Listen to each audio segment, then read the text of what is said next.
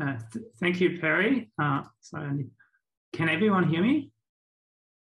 Perfect. Yep, okay, thanks, fine. Perry, for the introduction, and also thank you so much for um, for inviting me to give this presentation, as well as um, for the great work that Katja and, and Katja's team have been doing in organizing this fantastic conference. The program is is very exciting.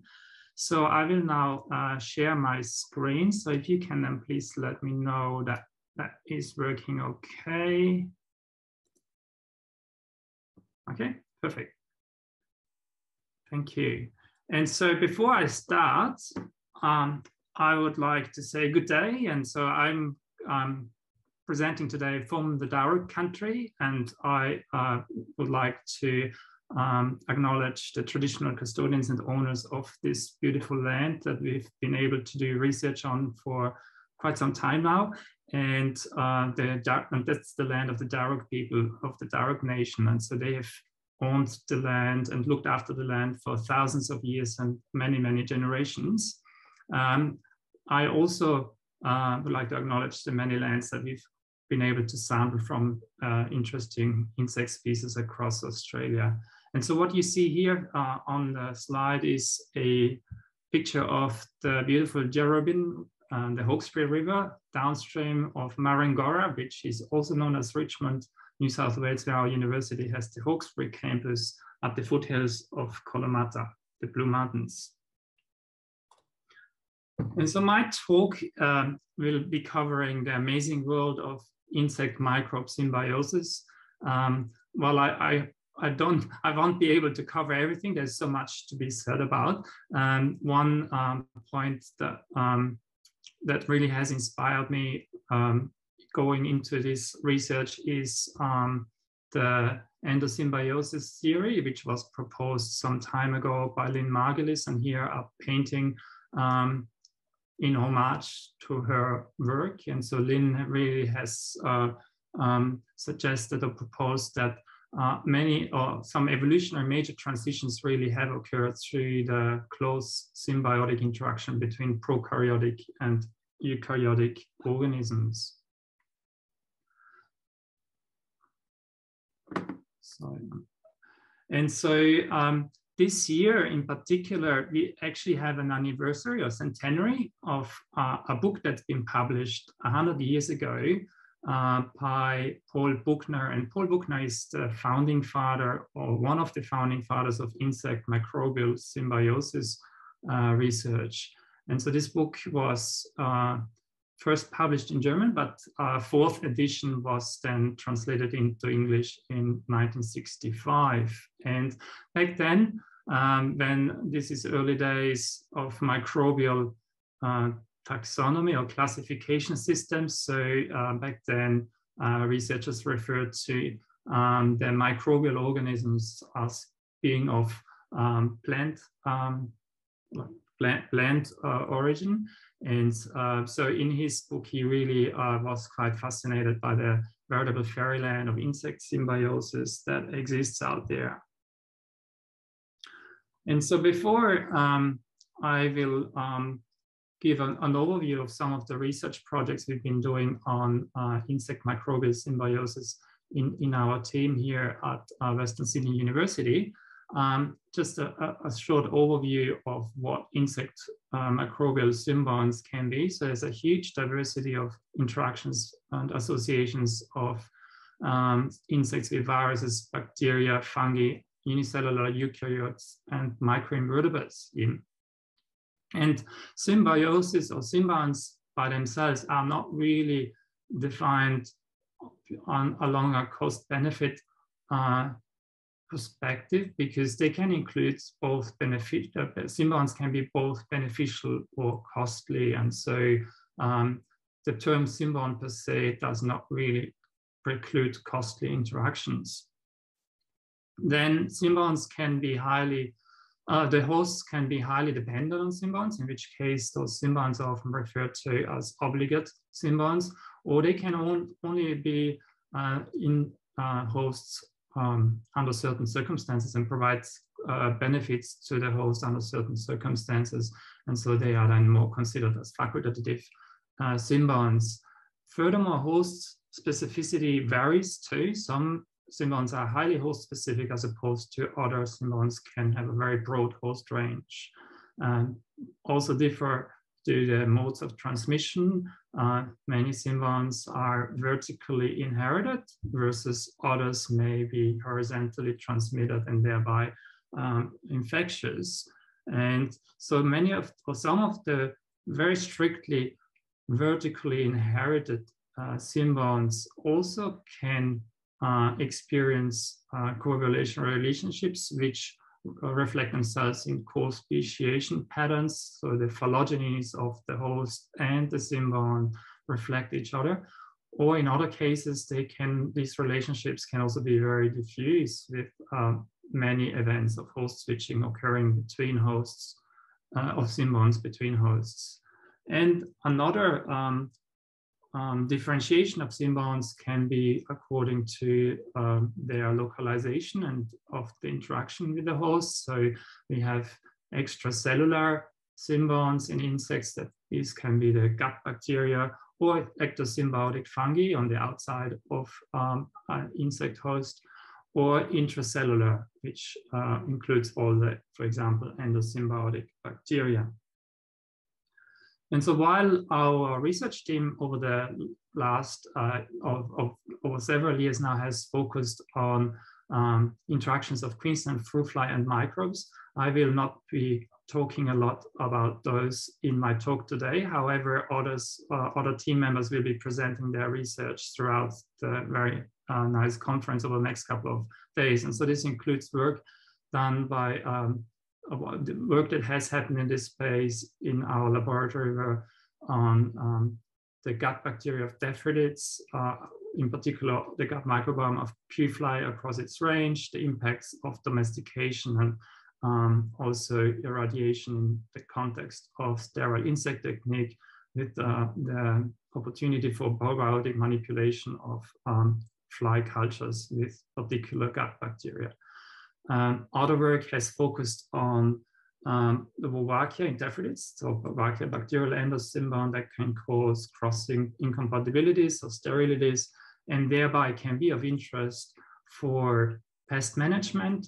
And so um, both Jen Morrow and um, Sharon Toward will be talking about uh, their research um, today and also on Thursday uh, about Wolbachia interactions with fruit flies, daffodil fruit flies, as well as uh, surprising uh, finding of interactions also with fruit fly parasitoids. Then um, one um, research angle in our team also looks at entomopathogenic nematodes and their uh, capacity in um, use of biological control of Queensland fruit fly. And so for this, Citram Ariel has been collecting entomopathogenic nematodes across the natural range or like across the range of Queensland fruit fly uh, in order to uh, uh assess their uh, infectivity and pathogenicity in Q fly. And it, it, I point out here that the pathogenicity of entomopathogenic nematodes actually completely relies or relies heavily on the presence of symbiotic bacteria that uh, the nematodes are associated with.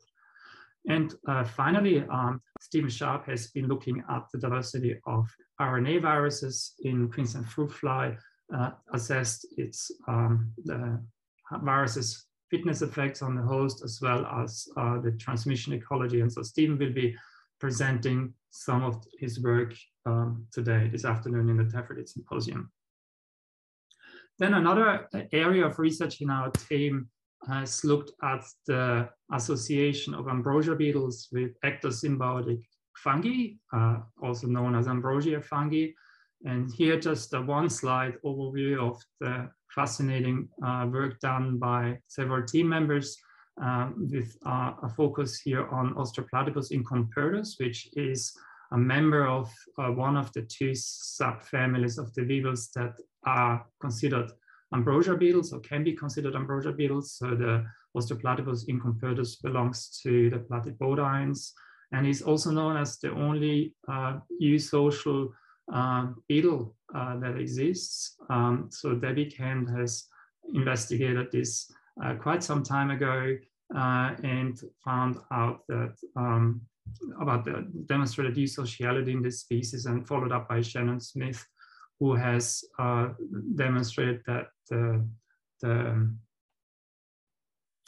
foundress queen uh, mates once and then sort of um, starts building a gallery in a eucalypt tree uh, oviposits and uh, builds, build, build, keeps building the gallery uh, and uh, together with uh, her daughter offspring and maintaining the gallery uh, for a very long time, up to more than 30 years. Uh, and, uh, and whereas some of the offspring leave, the male offspring leaves, some of the female offspring stays behind as daughter workers to take care of the gallery maintenance, but also the culture, the uh, symbiotic, ectosymbiotic fungi in the gallery that are the main so these fungi are the main nutrient source for uh, Austroplatypus incompertus. And so uh, Robert Müller, a former PhD student in our, our team, has um, isolated the fungus that this beetle is uh, obligately associated with. And so uh, we've named, or we're going to name this fungus as Raffaelea kenti in, in honorum to um, Debbie's work. And, um, and so here on, uh, you see on the, the mycangial plate on the um, thorax of the Austroplatypus incompertus where the female can carry spores of the fungi as, as they leave a gallery to then um, be able to inoculate a new gallery in a new tree with, with the fungal uh, spores that then germinate and, um, and so the fungal garden can be cultured. And uh, another person, or like James Bickerstaff then came uh, and joined the team and investigated um, the population genetic structure of Austroplatypus incompertus across its natural range. It occurs uh, from uh, Victoria all the way up to northern New South Wales. And it appears based on uh, James's work that uh, in fact there might well be two closely related species sitting within this one that are genetically um, uh, distinct from each other. Uh, on the left, you see the um, uh, phylogenetic tree of the mitochondrial haplotypes across different populations, but then uh, DArTseq technology analysis also confirmed a clear population structuring uh, between the northern and southern um, re regions of the distribution. Uh, what is amazing though is that the fungus per se doesn't seem to have diversified. So there is very high cl near clonal distribution of the fungus in association with the, with the two different lineages of Austroplatypus incompertus. Okay, which brings me to the next uh, group of um, um, or the, the one group of symbions that we have done a lot of work on. And so this is the group of heritable, heritable bacterial endosymbionts. And so here an overview provided by Nancy Moran quite some time ago of the different um, um, of different types of symbionts um, placed across a phylogenetic tree from different uh, bacterial phyla. And so um, there are four different types of uh, symbions. So you've got endosymbionts that are associated with uh, bacteriomes or cellular structures within uh, the hosts. And so these are often uh, also called the obligate symbions. Um, then there are the facultative mutualists, um, which are not found in, not always found in all individuals of a host species, and um, the term mutualist somehow has uh, become um, so it, it's it's shifting in its use because um, symbions per se and the Simons per se don't really have a choice, so they are not free living anymore. So um, and and and the control of uh, being in the symbiont really uh, in the host really the, the host has a strong um, influence on the mutualist. So it's sort of a, a one-way avenue uh, where the term mutualist per se perhaps doesn't apply anymore. So they are really beneficial, highly beneficial, or they can be beneficial endosymbions instead. Then uh, there's the large group or the, the, increasing group of facultative reproductive manipulators such as uh, and Cardinium. And uh, there are also endosymbionts for which we just don't know function yet, but uh, symbionts that are uh, detected consistently in host species.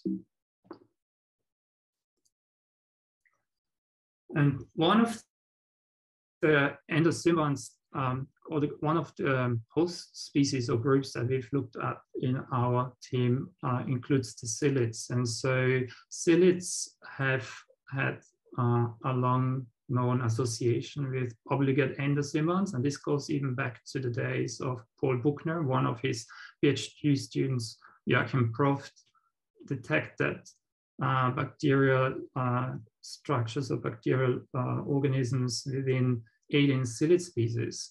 And back then, it was already apparent that there are um, symbionts involved that have different um, appearance. And so he, they were classified as primary endosymbionts, um, which were located in the mycetocytes or bacteriocytes.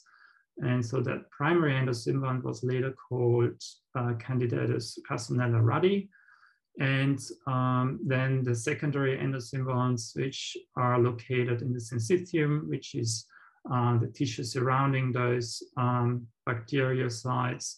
And um, however, it's also so that um, more recent research demonstrates that these secondary symbionts, endosymbionts are just as obligate or can be just as obligate or important to the host as, as the primary symbiont. And one, one reason for that is that Carsonella ruddi uh, has is one of um, the endosymbionts with the smallest bacterial genomes that we know of. And so uh, many bacterial endosymbionts experience uh, mechanism of uh, genome uh, gene loss and genome size reduction. And so, um, so, some of the pathways that those symbionts are really important for uh, in sense of providing uh, nutrients or amino acids to the host. Um, mutate and lose function. And so uh, there is, and those secondary endosymbionts can then replace or refill those lost functions and complement uh, thereby the symbolic system. And so here on the left-hand side, you see um, a Cardiaspina nymph, um, so first instar of a, a, a lerp-forming, Australian lerp-forming uh, psyllid species um, with uh, where, it can be become very becomes apparent the bacteriome, the structure within the abdomen where those um, obligate symbionts are located. So psyllids are um, a large um, um, group of, well, includes, um, it's a, it's a superfamily Psylloidea, which includes 4,000 species worldwide and in eight families and includes several key important um, plant pathogens, vectors, as well as herbivores. And Australia has got about 10% of the global diversity in 44 genera. And up in Australia, the um, of the um, family Aphalaridae are particularly diverse on eucalyptus, but there's also very diverse um, on acacia and um, with some high host specificity of um, quite amazing um, um, a, a, speciality of the Australian diversity is the lerp forming or, and gall forming uh, psyllids. So there is uh, not just psyllids that are free living, but some actually um, live underneath shelters um, the lerps or can uh, live within galls that um, they form, uh, the plants form uh, in response to psyllid uh, feeding. And they also can have different ecological um, interactions with plants in sense of uh, feeding either on old mature foliage or feeding on flush young growth foliage. And so uh, Jen Morrow, some years ago now, uh, went out and we collected a large number of uh, spe specimens of, of, samples of different of 25 different psyllid species from four different families. um, in order to assess their diversity of um, bacterial symbionts. And so we tried to distribute or include species that were either log forming, free living, and have different feeding um, preferences, uh, either senescence feeding or flush feeding, or included also gall forming psyllids. And these samples were then processed for the analysis of by um, 16 um, S rDNA amplicon sequencing. So this is a gene that's uh, used for the classification of bacterial um, diversity. And the result, returned result is that all psyllids um, contained Carsonella as the bacterial primary endosymbiont. Um, I note here, uh, what you see here is um, a graph with uh, different bars, each bar representing a different species and the different colors are different operational taxonomic units and the Carsonella is the black box at the bottom of each of those bars.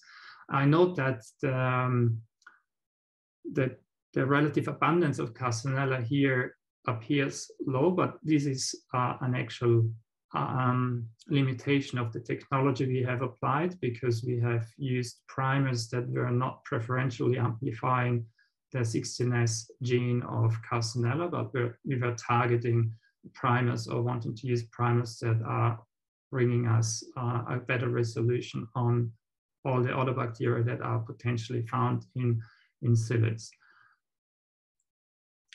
And so now, uh, if you look at um, all the, the, different OTUs that are in the psyllids besides the Carsonella, you can see that overall psyllids do not have a large diversity of bacterial um, symbionts.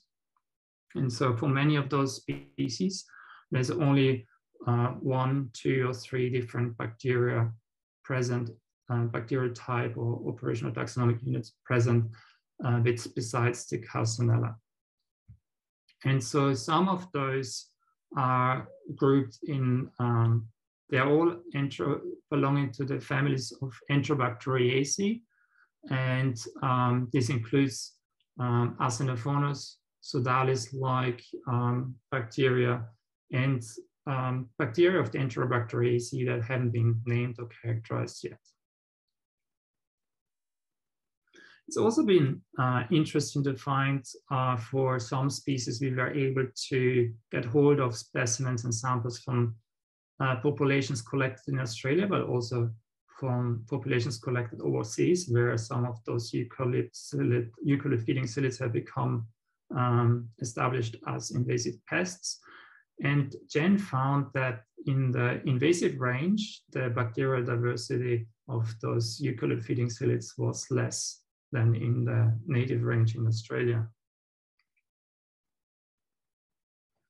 And um, in order to then also ground proof the finding uh, about the low relative abundance found for Carsonella in the amplicon sequencing runs, Jen uh, also did a test where specifically um, the Carsonella was Carsonella genes were quantified against um, uh, like assessed in, in relative um, title or relative presence. And, it was then became clear that Carsonella, in fact is more prevalent or more dominantly present in all of the psyllids when compared to other secondary symbionts such as here Arsenophonus and Sodalis. And this test was done uh, across a set of different Cardiaspina species. So these are all log-forming psyllids feeding on eucalypts, uh, where several of those species can also cause massive or can cause problems by defoliating eucalypts.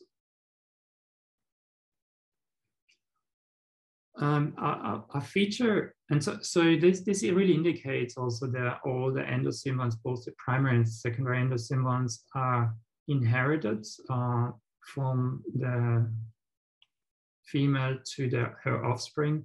And um, the very strict inheritance of many generations has led to the co-divergence of the primary endosymbiont with the host as uh, seen for um, the Carsonella um, phylogeny under top right-hand uh, dendrogram and the psyllid uh, phylogeny on the left-hand side, where for all the um, psyllids of the Aphalaridae, uh, the Carsonella phylogeny really reflects one-to-one -one the phylogeny of the host. However, the, interestingly, the secondary symbiont um, don't show this pattern as strictly. So for um, the species that we analyzed, uh, it became apparent that, um, for example, some of the um, uh, experienced uh, host switches, between, um, in particular Arsenophonus, where um, psyllid close relatives of psyllid Arsenophonus were also detected in aphids and uh, vice versa. So um, th this means that um, albeit the Carsonella has uh, been strictly co-evolving and co-diverging with the psyllids, that these uh, secondary symbionts uh, are sometimes lost and replaced um, by new secondary endosymbionts acquired from other host lineages. Then um, the talk, from the rest of the talk, I will now focus on two reproductive uh, manipulators um, that are um, well, the, the, the, two most common endosymbionts, bacterial endosymbionts. So this is Wolbachia pipientis on one side, a proteobacterium, and Cardinium hertigi, a bacterium of a completely different phylum, the Bacteroidetes. Uh, they are both intracellular bacteria commonly found in arthropod species. So an estimate is that about 52% of all arthropod species are infected by Wolbachia and 13% of arthropod species carry uh, Cardinium. And both um, can also co-occur in, in, in, species and host individuals. So about 1 to 2% of species actually are co-infected by both of these bacteria. And when these bacteria were first discovered, uh, they were discovered based on their way of manipulation of reproduction of hosts. And so the most common reproductive mode of manipulation across um, for both species, uh, or for both endosymbionts, Wolbachia and Cardinium, is uh, cytoplasmic incompatibility. And so I will explain in more detail what that involves in, in the next uh, slide. Uh, but it is a crossing barrier between infected and uninfected individuals.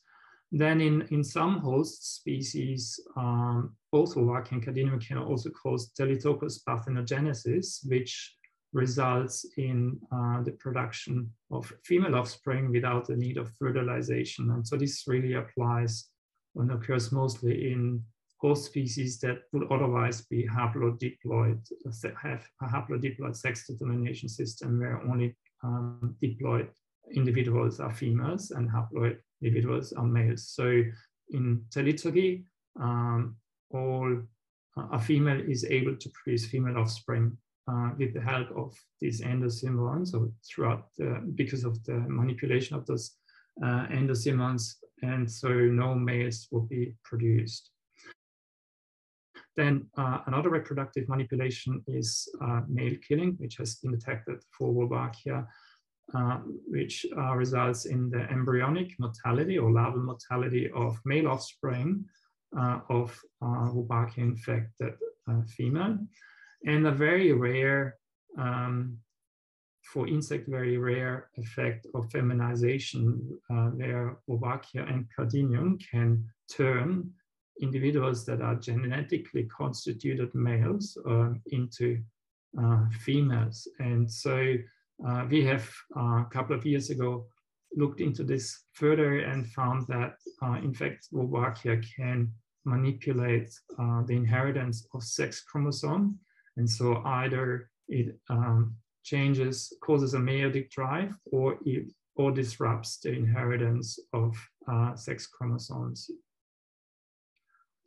and so all of these reproductive manipulations, the common uh, strategy here for the endosymbionts is to increase the reproductive fitness of a host so that um, um, females females infected by Wolbachia are uh, relatively more reproductively fit than females um, that are not infected. And so, um, so that, that's a very that's the key strategy uh, that's shared uh, across all of those manipulations. However, more recent um, there's recently increasing research findings also showing that uh, these endosomes can also have other fitness effects. Uh, first, they were discovered as fitness costs, such as reduced fecundity, for example. But in some hosts, uh, these endosomes also bring fitness benefits, uh, such as increased fecundity, for example, or um, protection of a host from, um, from pathogens such as uh, viruses or um, um other, other, other pathogens. Now to the most common um, um, reproductive mode of manipulation, or most common mode of reproductive manipulation. So that's um, the cytoplasmic incompatibility. Um, here, an overview of uh, the what, what that involves. So um, the cytoplasmic incompatibility applies to the bottom row where an infected male mates with an uninfected female uh, all of the offspring of this uh, mating order, this results in um, embryonic mortality. And so uh, this uh, combination will result either in a reduced offspring number or no offspring at all, depending on whether the cytoplasmic incompatibility level is complete or partial. As opposed to all the, the three other crossing combinations where um, where um, there's full compatibility. So uh, infected females can mate with both infected and uninfected uh, males and will produce infected offspring uh, in comparison to the uninfected pair, which can produce uninfected offspring. So we have in our team looked at um, in a Wolbachia and Cardinium in a, in, in a species of uh, thrips. And so thrips are particularly interesting um, with regards to endosymbiont research. Uh, I mean, first of all, there's two suborders, Terebrantia and Tubulifera. So we've just really looked at uh, um, a species within the Terebrantia. So I'll point out what, what we found may not apply to all the thrips. Nevertheless, um, thrips are um, interesting because they have independently evolved haplodiploidy, the species that are eusocial as well as uh, thrips also have uh, holometabolous metamorphosis. They are important plant virus vectors. Some um, some species are, and um, in comparison with many other insect species, um, they thrips in generally have quite simple microbiomes. So uh, this means just a small number of um, gut bacteria species and a few thrip species also have associations with Wolbachia, uh, where Wolbachia can cause thelytoky in some, or in other species. Wolbachia, the presence of Wolbachia doesn't change arrhenotokous reproduction in sense of uh, un, um, unmated females producing male offspring and uh, mated females with, are able to produce um, fertilized eggs, which result in female offspring, and unfertilized eggs, which still produce male offspring. So the species that we've looked at is the Kelly's citrus thrips, also known as Thrips kellyanus, uh, member of the family Thripidae. And this species was first described in Australia in 1916 and was discovered in different parts of the world uh, throughout the last century. And it was not quite clear where it originated from because of the way how it was distributed. So it's currently distributed in Australasia. Uh, there is, it also occurs in the Mediterranean uh, region. And, um, and so, so it was not fully clear where the origin of this species sits, uh, although it has um, relation, it has associations with Australian native flora, um, yet it can also feed on uh, on citrus. So it is in fact an important pest of um, many citrus species in Australia as well as overseas.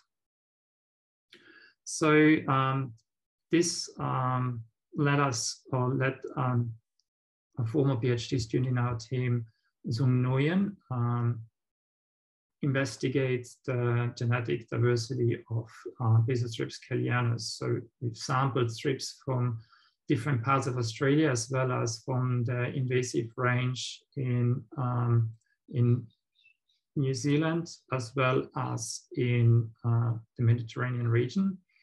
And, um, and then Duong tested these thrips for or sequenced their mitochondrial uh, gene cytochrome oxidase 1 as well as the nuclear gene elongation factor 1 alpha. And by analyzing the genetic diversity across these two different loci, it became clear that Australian population and Australian individuals had the highest haplotype and allelic diversity.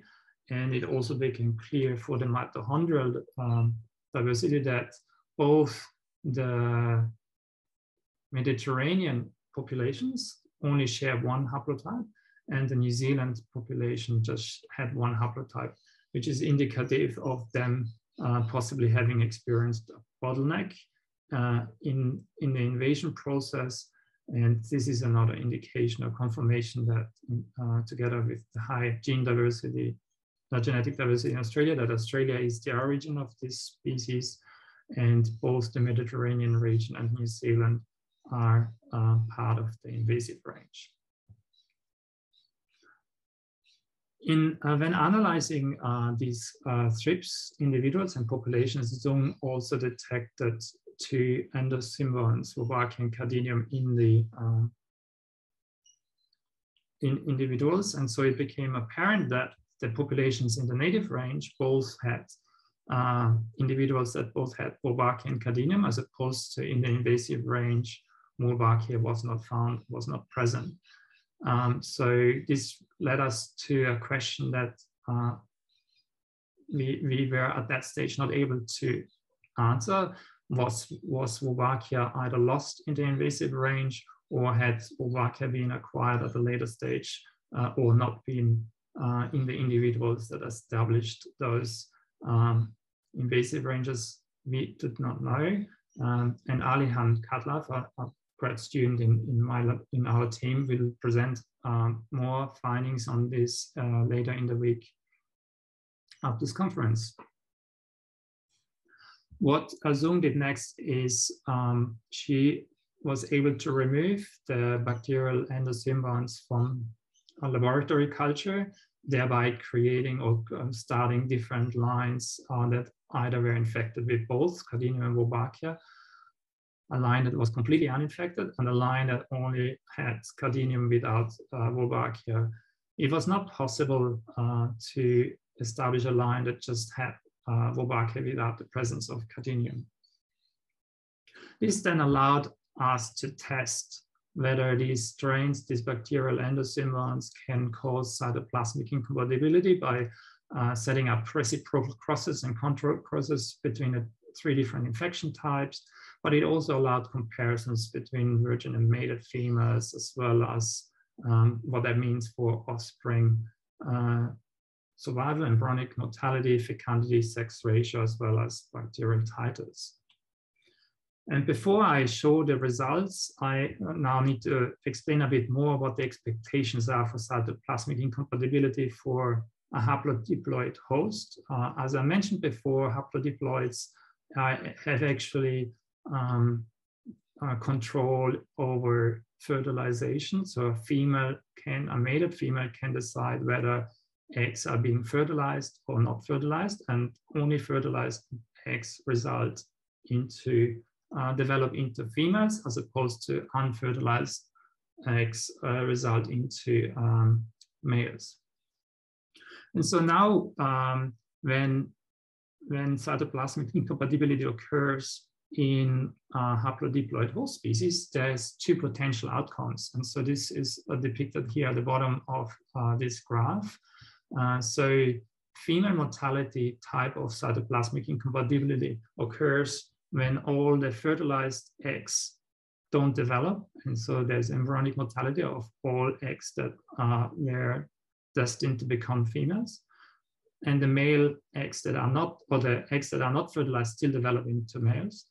And then there's also another type of uh, cytoplasmic incompatibility known as male development, where those fertilized eggs actually are converted and develop as males. And so uh, male development CI actually is reflected in producing lots of male offspring. And so of uninfected offspring. And so this can actually be um, um, a, a, reduction of uh, reduced uh, invasion efficiency of these endosymbionts in host populations.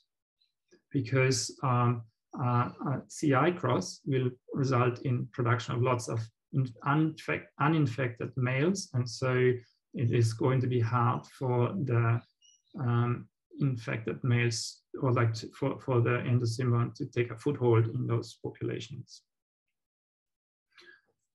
And then the crossing experiments then um, that Duong did revealed that um, all of the CI crosses, which are here boxed into um, red for the Cardinium CI cross, resulted in production of no female offspring.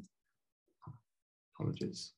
And um, the same also, so this is in the previous last um, column. And uh, for Wolbachia also result, Wolbachia CI crosses also resulted in um, production of no female offspring.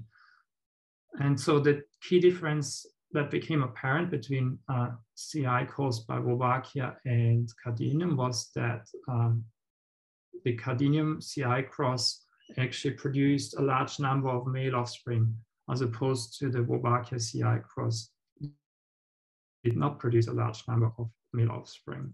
And therefore, we were able to conclude that uh, both endosymbionts um, cause uh, cytoplasmic incompatibility. Cardinium is responsible for a male development CI, and develop, uh, causes a female mortality type of CI. One other aspect, however, that was this that came as a surprise was that, well, first of all, all it, it was clear that uh, virgin females produced uh, male offspring without, uh, and, and, and so um, that confirmed that Pezothrips kellyanus is arrhenotokous.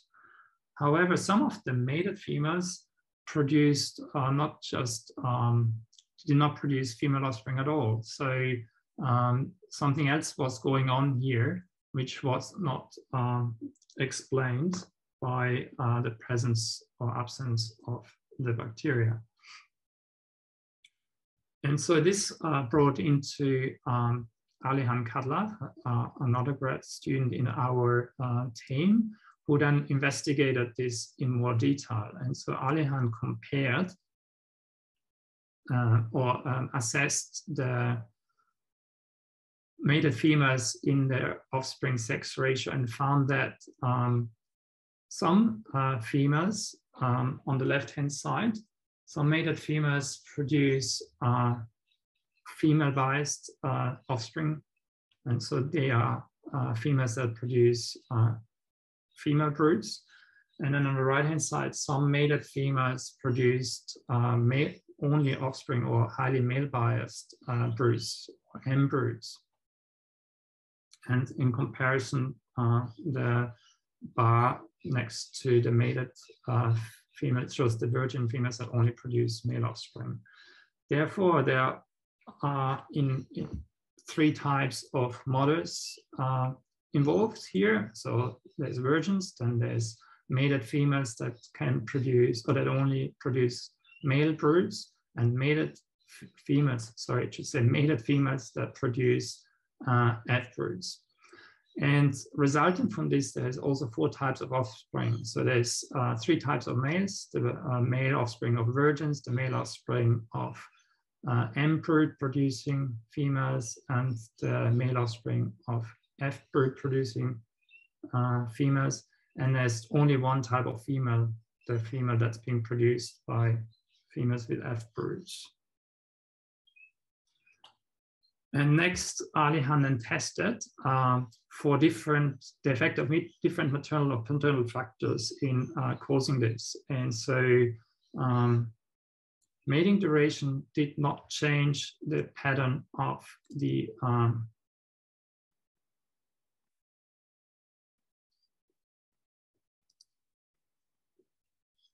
Ah, okay, guys, sorry, I'm running over time. So um, Yeah, thanks, Barry. So, so um, Ali has shown that the mating duration does not impact the um, um, the, the, distribution between uh, male uh, the F brood and M brood production. Also, all the females that produced M brood were successfully inseminated, and this was shown by uh, finding by was demonstrated by finding sperm in the spermatheca. Furthermore, um, male body size did not have an effect on the distribution of the two types of uh, male brood producing females and female brood producing females. And however, uh, an effect was found in um, in the way how um, the fitness factors of um, of um, of the female of the mother. So so nowadays um, exercise like um, so Alihan found that the females that were um, unconstrained, um, so this is the females that produced F broods, had uh, produced larger eggs than the females that were constrained, which produced uh, small uh, eggs. And so therefore the split sex ratio that was found was linked to uh, constrained sex ratio depending on the maternal condition. And so average egg size um, before mating uh, predicts uh, the probability of M or F brood production after uh, mating. So females that produce large eggs are more the her eggs are more likely to become fertilized and therefore turn into female offspring than um, eggs of. Um, and this then also, and, and the forewing length as a fitness uh, um, uh, fitness parameter of uh, females also resulted into the predicted whether um, females were producing M broods or F broods. So that means larger eggs, or what at the same time Alihan also found in a different study is that larger eggs are more likely to become fertilized and then therefore develop as females. And so here just a quick overview of how this um, um, comes or what the mechanism behind this is, the likely mechanism behind this is. So uh, on the bottom you see uh, a graph of the reproductive organ of the of a, of a thrips female, where in the ovary the mature eggs, provisioned eggs, leaves uh, the ovary and then passes through the ovary duct, the spermatheca, and the larger eggs then stimulate the muscle to the spermathecal duct so that uh, sperm is released and the larger eggs thereby get fertilized in the fertilization chamber, as opposed to smaller eggs when they pass through the ovary duct may not uh, stimulate this muscle uh, tissue and thereby sperm is not released. So there's a clear uh, potential, there's a, um, our, or Alihan's findings clearly suggest there's a, um, a mechanistic response to egg size in fertilization control. Furthermore, egg size also predicts um, survival from egg to adult, here seen on the um, left-hand side. Then it also predicts larval body size, uh, larger eggs result into larva larvae developing, as well as offspring uh, size. So um, there's a clear effect on of egg size provisioning on not just sex uh, ratio, but then also on offspring survival and fitness. And so this then led to the elephant in the room question, do endosymbionts influence the sex allocation system? And Alihan found, or we found yes, because in the uninfected population, we found that um, constrained and unconstrained um, females occurred at similar um, proportions, whereas in the infected populations, the constrained females are more common. So, and so this is due to Cardinium, uh, where Wolbachia does not seem to change or just slightly reduce uh, the effect of uh, that Cardinium is having. Next, Alihan measured um, egg sizes across different infection types, model types, and offspring types, and found that Cardinium increases egg size versus uh, Wolbachia can act antagonistic to Cardinium in, in this context. Furthermore, influences of endosymbionts was found on offspring development traits. Uh, slows development, Cardinium, um, as opposed to um, Cardinium uh, and um, doesn't have an effect on development time in comparison to uninfected. Then Cardinium can increase uh, the survival and um, both Cardinium and Wolbachia can increase the juvenile survival, Cardinium and Wolbachia increase offspring size, and Cardinium also and Wolbachia increase the longevity when thrips are exposed to the dehydration stress. So this means Cardinium and Wolbachia can influence sex allocation system of hosts by increasing fertilization and thereby increase prevalence in host populations and so similar sex allocation effects of endosymbionts have also been recently found for other endosymbionts such as Arsenophonus and Hamiltonella. However, it was not clear or it hasn't been clear so far what the responsible mechanism has could be behind this. And uh, so our work shows that endosymbionts can increase egg size provisioning to X and thereby increase fertilization success rates. And uh, this then results in higher female production. And so I note here, this is a pre-zygotic effect. So, um, and thereby can act in companion with uh, cytoplasmic incompatibility, which is a post-zygotic effect in helping to innovate host populations. And so I mentioned before, both endosymbionts have different types of CI, with uh, Cardinium having a male development CI, which is less efficacious, efficacious in invasion. So in having this very strong beneficial effect of size provisioning in Cardinium individuals may help uh, this in in invading host population.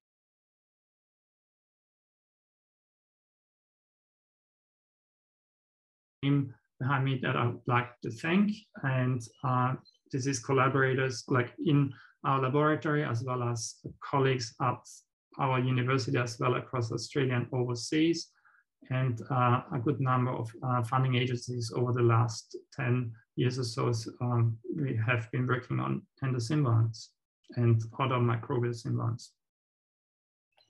Thank you.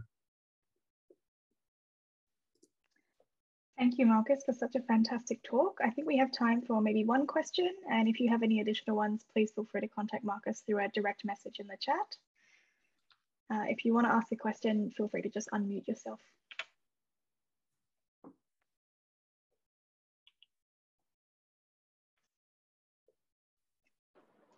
I have a question for Markus. Yeah, thank you. Yeah. yeah. Do you think in the future it might be possible to, um, to knock out individual strains of bacteria to see what their effect on, on fitness might be? Like if you wanted to knock out one but not the rest?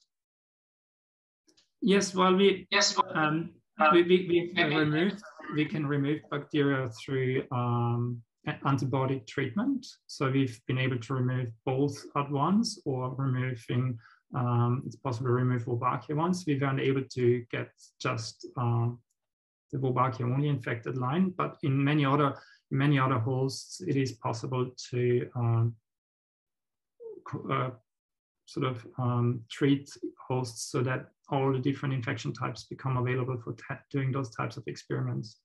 I don't know whether that answers your question, John. I was just wondering if maybe, you know, with some kind of, you know, in the future, some kind of gene editing technology, you could possibly, you could knock out specific bacteria.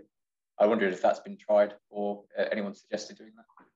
Uh, I, well, I think I think there's research of that nature happening in um, with some of the obligate symbiont, um, the primary endosymbiont in aphids and so on.